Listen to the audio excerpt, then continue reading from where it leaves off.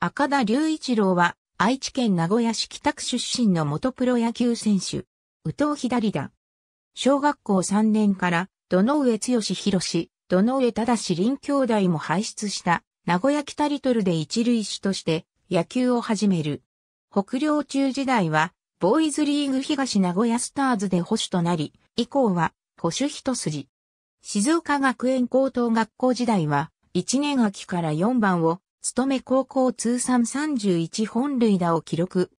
3年夏は静岡県予選1回戦で小笠高2の9で敗れた。甲子園出場経験はなし。高校卒業後は愛知大学に進学し、愛知大学野球連盟に所属する公式野球部に入部する。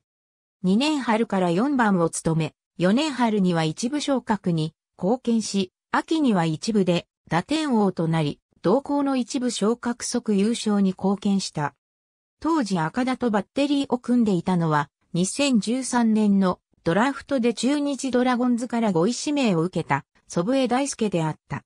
2009年のドラフトで中日ドラゴンズから育成2位指名を受け入団。2013年5月1日、支配下選手契約を結び、翌5月2日に支配下登録された。背番号は68に変更となった。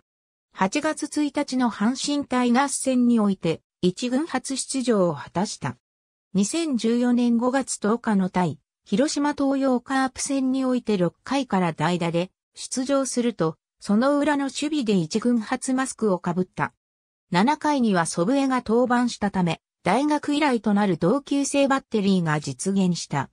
2017年、一軍出場機会はなく、10月30日に戦力外通告を受け、11月1日に現役引退を表明した。12月2日付で自由契約選手として公示された。11月29日に中日ドラゴンズから球団スタッフとして契約したことが発表された。ありがとうございます。